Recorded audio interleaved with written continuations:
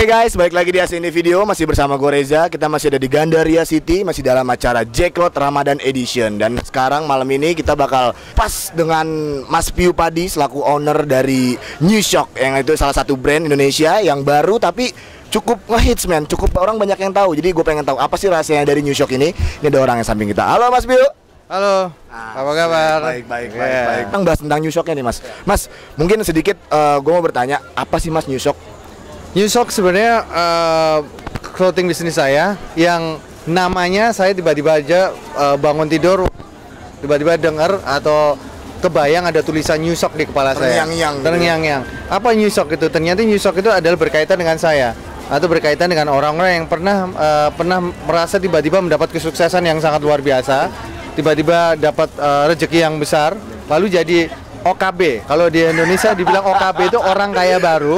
Jadi mereka kayak culture shock. Jadi ada new shock. Nah, saya bilang gitu. Nah, eh, karena itu saya la- langsung eh, mikirkan bahwa ini eh, ada ada apa namanya ada relatednya dengan saya punya bisnis clothing. Tapi anyway, gue pengen tahu apa sih mas yang ada di New Shock kan kalau yang namanya brand itu atau clothingan atau apa itu biasanya kan banyak bukan cuma t-shirt. Ya. Ini di sini ada apa aja? Coba. Oke, eh, di sini saya memang ada spesialis untuk t-shirt. Ya, Memang karakternya emang lebih lebih ke karakter karakter yang menggambarkan dari berbagai macam sisi. Bisa dari rock side atau mungkin dari movie side. Lalu kita juga ada denim, berapa kita juga ada jacket, eh, kemeja. Kalau untuk eh, masalah unggulan utama sering teman-teman eh, pencinta brand atau clothing beli apa? Kalau saat sekarang ini saya lebih banyak t-shirt. Walaupun sebenarnya saya lebih fokusnya sebenarnya ke denim, ke jeans, tapi memang perlu waktu karena denim harus orang pegang, harus pakai, baru dia akan merasakan nyaman. Tapi kalau t-shirt orang hanya melihat aja, oke suka langsung beli gitu. Dan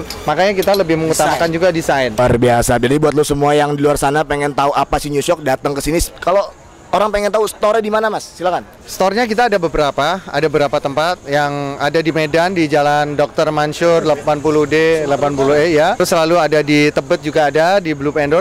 Lalu, nanti rencana saya akan buka di Tamrin City. Tamrin City nomor satu itu ada satu uh, store saya besar milik saya tuh namanya The Hub. Nanti akan ada New Shock di sana. Buat semua yang bisa link dengan media atau sosial media kita bisa masuk ke Facebook kita di New Shock ID atau juga follow uh, our Twitter uh, at newshock underscore ID. Oke. Atau juga follow saya at pu underscore logi. Di website masuk di www.newshock.com. Oke, buat showcase, grab your favorite t-shirt and find the surprise of this product. And you will shock. Oke guys, tadi udah kita kupas semua tentang New Shock. Sekarang gua akhiri eh, interview gue bersama gitaris eh, ternama Indonesia yang sekarang beralih juga menjadi pembisnis clothing. Dan gue juga masih nunggu banget album-album eh, solonya dia karena lu juga harus tahu semua brand ini terinspirasi dari gaya-gaya dia berpakaian. Jadi buat lu semua pecinta Piu Padi dan Showcase, langsung aja kunjungi New Shock dan yang pasti masih di Asin Review masih bersama gue Reza. Bye bye. Bye.